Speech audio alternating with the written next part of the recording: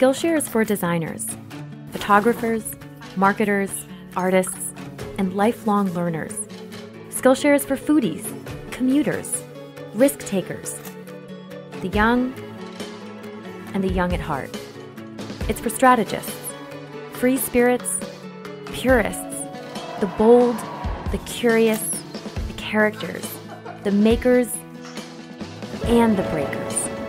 Skillshare is for everyone, an online learning community with thousands of classes to advance your career, improve the world, and pursue the work you love. What will you learn next? It all starts on Skillshare.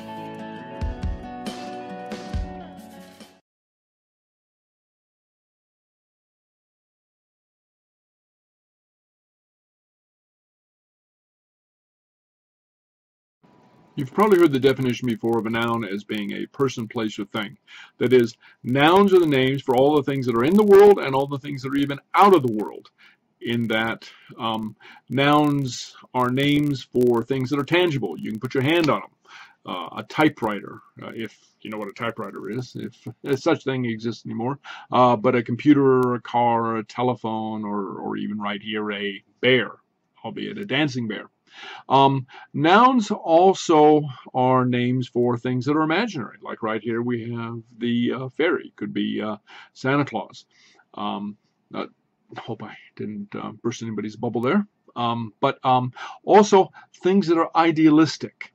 Uh, we have concepts of, but nevertheless you can't put your hand on such things as love or justice or friendship or anger or you know, my feelings are hurt. Well, the feelings can't be touched, uh, but uh, but we consider them real nevertheless, and and the description of that is a noun. Nouns divided into two categories: common nouns and proper nouns. So as you peruse the list over here, you'll see that in the one case we have boy, who could be any boy, or we have Billy. Uh, again, we have a woman, could be any woman, um, uh, or the specific Anita Williams. And again, likewise, city, any city, or Chicago, or a river, or the Mississippi, a very specific river, a company, Ford Motors, or a poet, Robert Frost. Now, one of the things that you notice here, uh, look down the column of proper nouns. One property of proper nouns in English is that they are, for the most part, capitalized, and there are some exceptions.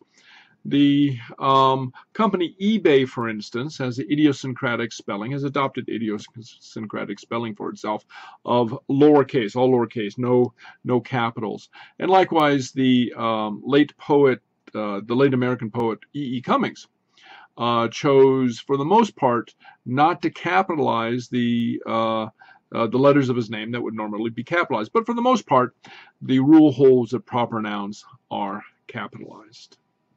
One of the properties of nouns is that they can be pluralized, and this means that um, uh, nouns come in two forms. One is singular, that is, there's only one of them, one dog, one computer, one truck, and so on and so forth. And on the other hand, nouns can be plural, which means there's two or more of them. So in the regular form, uh, you pluralize a noun by um, adding an S to the end of it.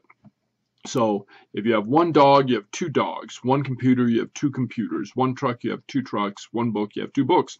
Um, the exception to the spelling rule is if you have a noun such as heroes, which ends in an O, um, and you would add an ES to the end of it rather than just an S.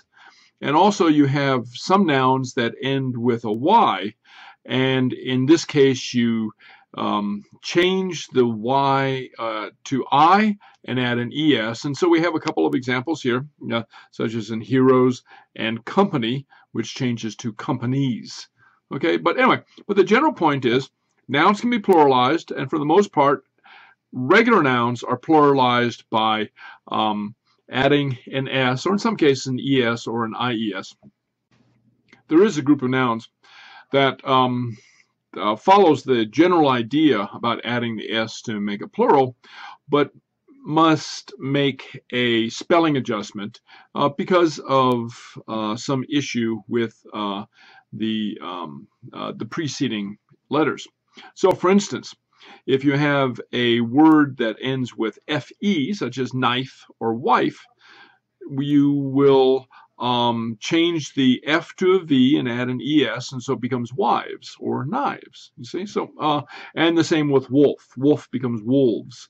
Loaf becomes loaves. And so, so these are spelling adjustments. You can consider these spelling adjustments because they're pretty universal across words that have these kinds of endings.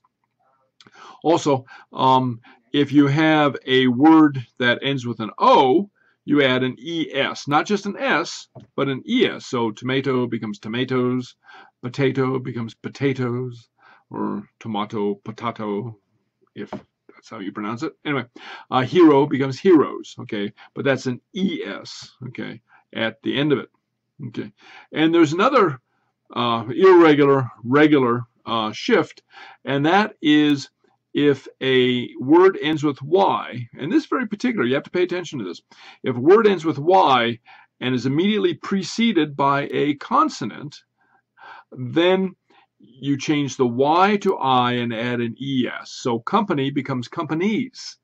Um, army becomes armies, but with an IES, not a YES. Okay, so anyway, um, now uh, why you have to pay attention to this is because you do not perform this uh, this um, Y to I shift if the Y is preceded by a vowel. So boy becomes boys, okay, with a YS. Valley becomes valleys because it's a EY at the end, so it becomes valleys just with an S. And delay becomes delays. You know, there's many delays on the road to work today, uh, but um, uh, but you just have a regular S. So these types of Y ending words stay perfectly regular. Okay, so now in the next slide, I'm going to talk about really irregular nouns, nouns that are very irregular in the um, uh, in the plural uh, formation.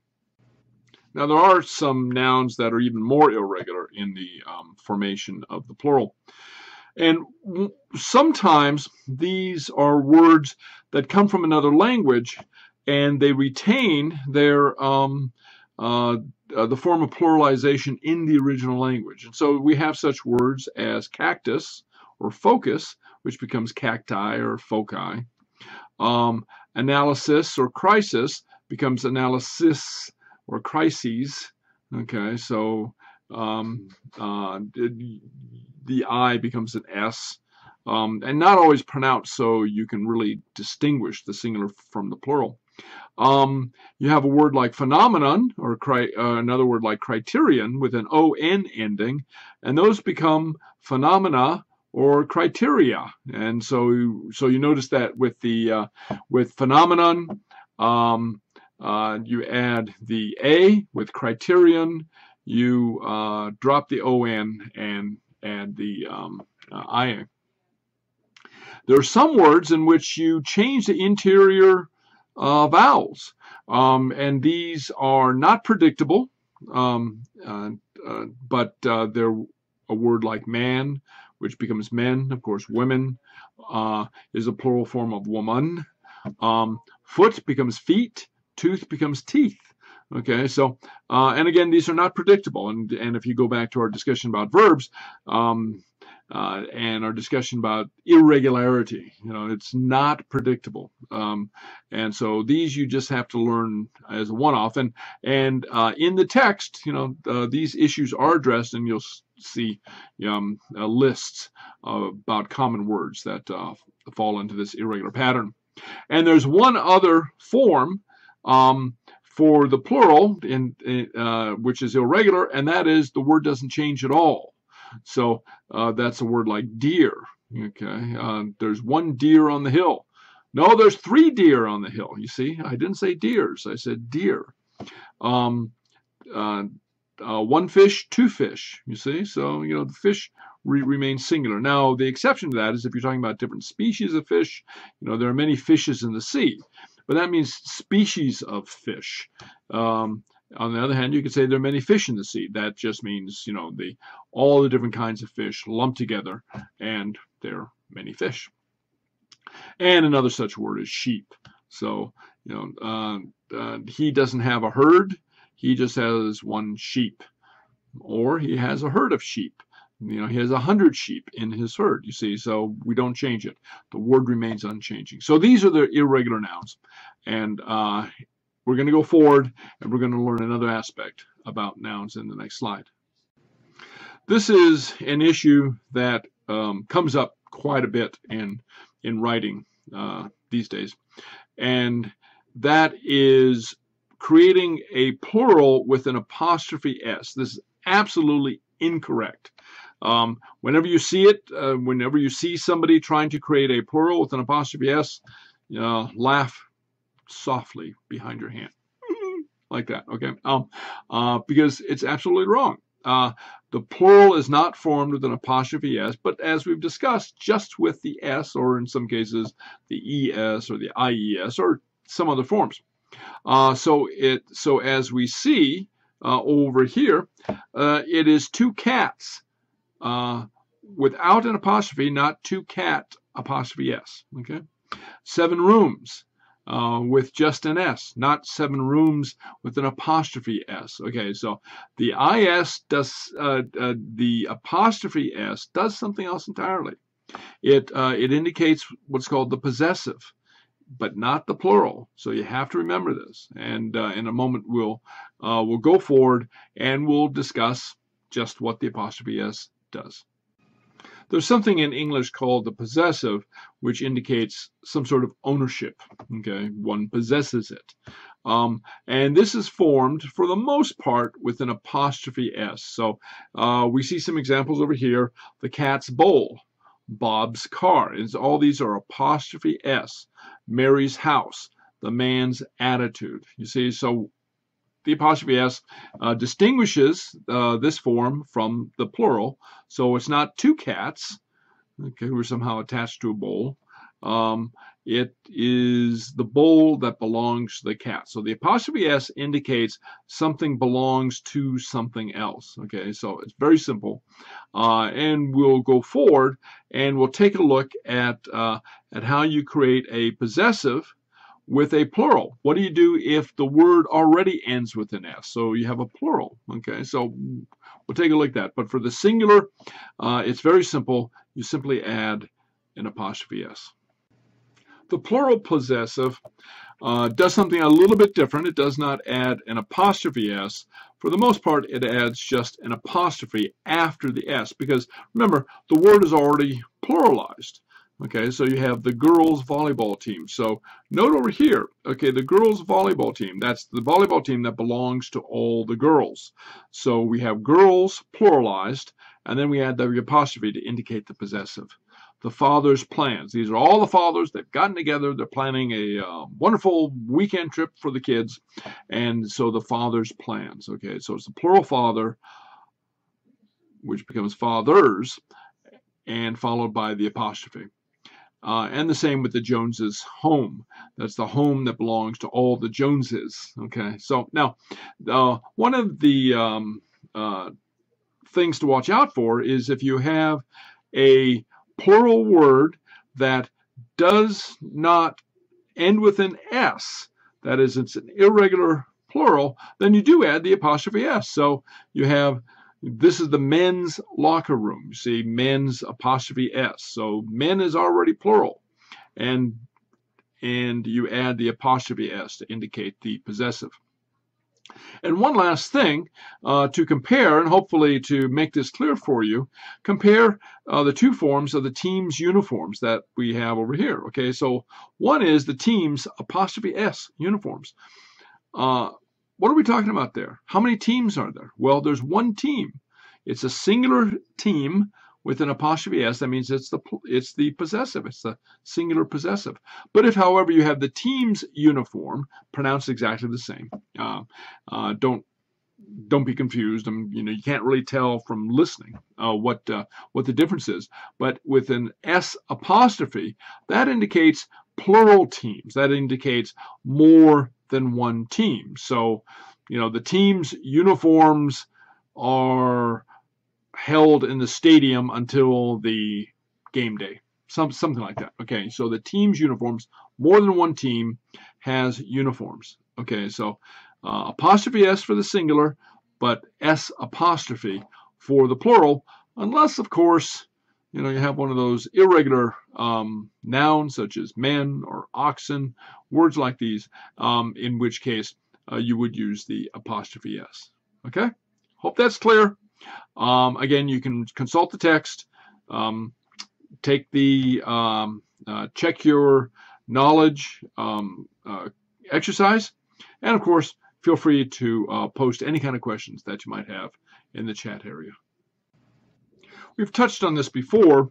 Nouns that look like plurals but are treated as if they're singular. And in a sense, they are singular. So economics, gymnastics, Olympics. The Olympics is my favorite sports activity. Okay. Um, uh, ethics is a difficult subject.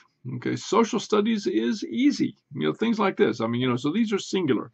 And also have to uh, keep in mind that sometimes if you're dealing with an amount, you think of it as a singular amount. So two lumps of sugar is all you need.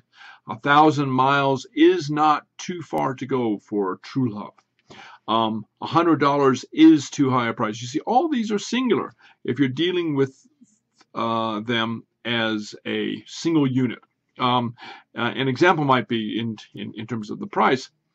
Um, the price is $100 or $100 is the price, so, so that's singular. But if I said uh, there are $100 in $1 bills scattered all over the floor, you see, so there are $100 bills. Okay, so um, so if I'm dealing with it as a quantity, then something like $100 um, uh, is plural, but if I'm dealing with it as a singular amount, a, a price or a weight or a measure, then that's um, uh, singular. Okay, so anyway, uh, now we're going to go on to another little tricky aspect of nouns. Uh, nouns that are treated as if they're plural, but they really comprise a singular item, and we'll take a look at those. Another form of the noun that might cause us an issue are nouns that look like and are treated as if they're plural, but really they're a singular item. So um, an example uh, might be scissors. You see, there's only one pair of scissors, or you see already I call it a pair, right? But there's only one item there, one item that cuts, and we call it a scissors. But the scissors are on the table. So you see, even though there's one item, I still refer to it in the plural. Um, uh, I use the plural verb, are. And same with pants and panties. Don't get your panties in a wad, as the saying goes. Your panties are in a wad. You see, so that's the plural. Same with spectacles and glasses, as in you know the you know the these things, these things that you wear like that, right? Uh, uh, there's a singular item, but it's um, referred to in the plural, and you use the plural verb. Uh, riches, you know, his riches uh, are great. Okay. Um, uh, but it's that's a singular wealth, and if we use the word wealth, uh, his wealth is great, then it would be singular, but the word riches would be uh, plural. Same with jitters. You know, uh, you know, my jitters are getting the better of me. You see, again, we use the plural, but it's only one thing, one feeling. You see, I could say my fear or my anxiety is getting the better of me. That would be singular. So, but jitters, for some reason or another, only exists in the plural form, even though you might think of it as as one thing, one one emotion that uh, that overwhelms you. And there's no such thing as a jitter. You can't say my jitter got the best of me. Um, and remains, as in the um, uh, the uh, the remains of our dear departed are in an urn on the mantelpiece. Okay, so the remains are.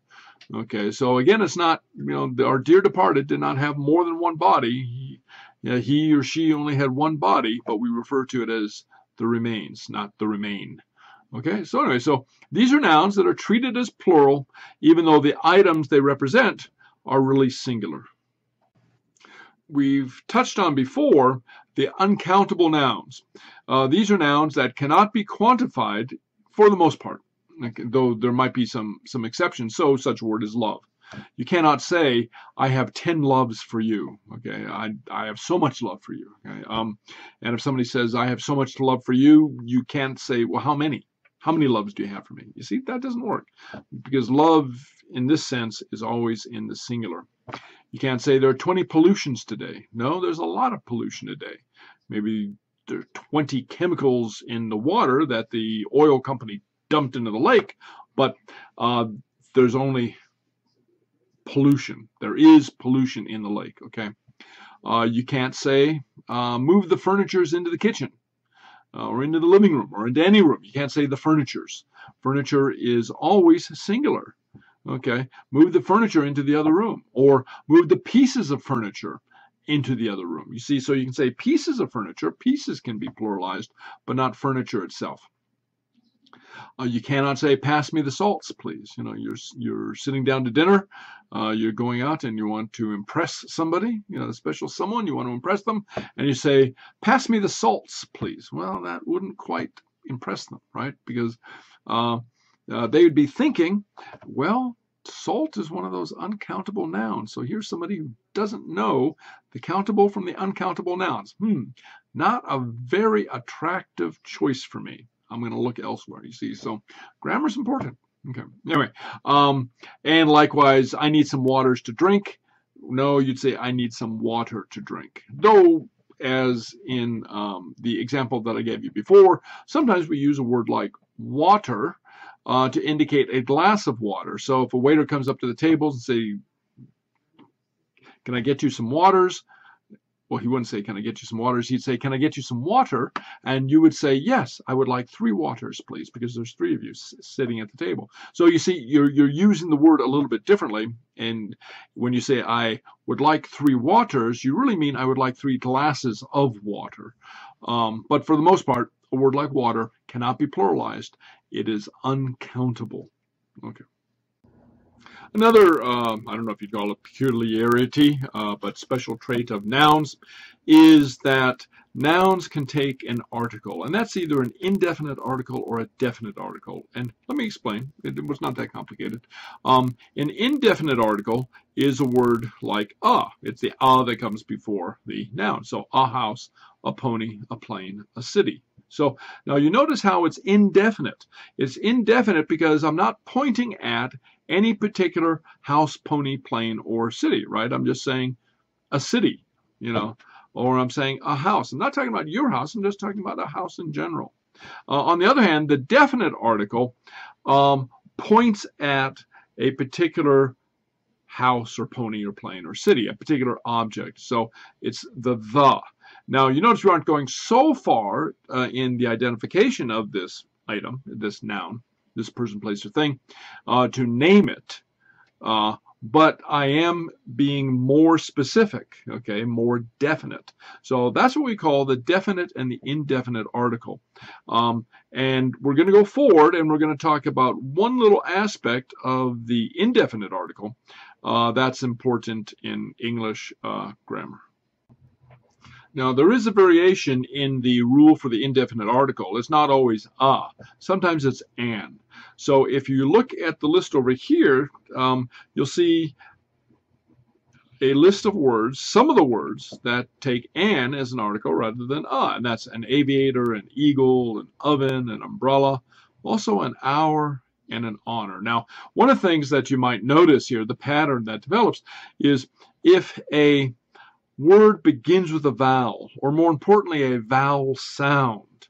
Um, probably, you know, we we do this or this uh, pattern developed in English because it's easier to say an eagle rather than a eagle. You see, so there'd be a break there, and and, and the mouth just finds it easier to wrap around uh, some sort of intervening consonant rather than um, two vowels right right in a row. Um, uh, but you'll notice an anomaly as well. Here we have uh, an example of a couple words, hour and honor, that begin with a consonant, but take the N as well. So the pattern here is it's the vowel sound because we don't say a hour, we say an hour. You see, so that's a vowel sound at the beginning of the word. So, uh, so if the word begins with a vowel, or a vowel sound, then it would take an and um, uh, instead of an ah as an indefinite article. Now, in the next slide, I'm going to talk about um, some vowel beginning words that don't take the and. And I don't know if you'll be surprised, but uh, or even if you'll consider it fun. But um, uh, but we'll touch on it briefly, and then we'll go forward from there. Here you see a list of nouns that all begin with vowels, and um, but we use the indefinite article uh with it, which seems to contradict the rule that I've just established. If it begins with a vowel, use an. But the reason that we use uh rather than an um, as the indefinite article uh, for these words is because they are pronounced as if they had a consonant in front of them. So, for instance, we say a unicorn, uh, uh, and further over here, you'll see um, uh, I've tried to indicate how we pronounce it. So we pronounce a unicorn as if it's a Y-O-U, a unicorn, you see. So it's not a uni, it's not an unicorn, it's a unicorn. You see, it's, it's even difficult to say that. Um, we say a U.S. soldier because it's a U.S. soldier, okay? We say a eulogy for the same reason, uh, because it seems to have, uh, it seems to be pronounced with a Y sound, a consonant sound at the beginning of the word. For the same reason we say a union or a use, okay? So um, and we can see how this shifts back and forth with um, H words, words that begin with the letter H, because we would say an hour, an hour, okay, because we do not um, uh, pronounce the H in that word.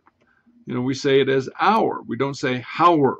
Okay, we don't say uh, hour. However, you can see and compare this with a word like history, that we do pronounce the H. We say history. So it's a history. Okay, so anyway, uh, so I hope this makes it more clear um, how we use the an in place of the a as an indefinite article with some words and some words we don't. So to wrap this up, I'm going to summarize the parts that nouns play. That is the parts of, of the sentence that nouns play. And nouns uh, figure into the sentence in many different areas. So let's just take a look at this. First, nouns can be the subject of a sentence. So Caitlin graduated with honors. You see, Caitlin is the subject of the verb. Uh, in this, going back to what we're talking about uh, in uh, in another lecture, or several lectures before, uh, the word Caitlin is the actor who is doing the doing uh, that's represented by the verb graduated. Um, a noun can also be the direct object of a verb. So the president awarded the Congressional Medal of Honor to the hero. The president awarded the medal to the hero. So what did the president award? The object of the verb is the medal, the Congressional Medal of Honor. Um, nouns can be the direct object of verb. The husband, feeling guilty, bought his wife flowers. So bought flowers for his wife, you see. So that's the indirect object. Uh, he bought flowers. Flowers would be the direct object. But re remember the rule for figuring out the indirect object. If you can change the um, uh, the the noun uh, to an object of a preposition, to to sent flowers to his wife or bought flowers for his wife, then that's the indirect object. And lastly, nouns can be the object of the preposition. So the plane flew over the city. Remember the preposition? Um, and very briefly, we touched on it in parts of speech, and we have a lesson in prepositions coming up briefly. Uh, uh, but the preposition is one of those words that tells us where we are in relationship to the box. So the noun, as a matter of fact, is very often the object of the preposition. So uh, over the city, we went to the city, we went through the city, uh, we were in the city, you see. So that noun is the object of the preposition. So these are the various roles that nouns play, and they're very important parts of speech, as, as are all the parts of speech. So I hope this lesson has made this clear for you. And uh, again, uh, test your knowledge uh, in the uh, check your knowledge exercise. Uh, read the accompanying text and be sure to post whatever questions that you might have in the chat area. And I'll see you next time.